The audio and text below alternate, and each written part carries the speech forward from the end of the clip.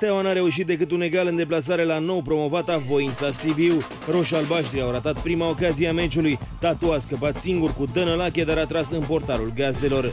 Tot Tatu a deschis și scorul. A reluat în plasă centrarea perfectă a lui Martinovici. Voința a reacționat imediat după primirea golului. Cigan a scăpat de la Tovlevici, dar nu l-a putut învinge pe Tătărușanu. Nicolae Grigore a ratat la faza imediat următoare. Lovitura sa de cap a trecut peste poartă. Sibienii ar fi putut egala în ultimul minut al primei reprize. Tătaru și Iulian Popa au ratat incredibil în aceeași fază.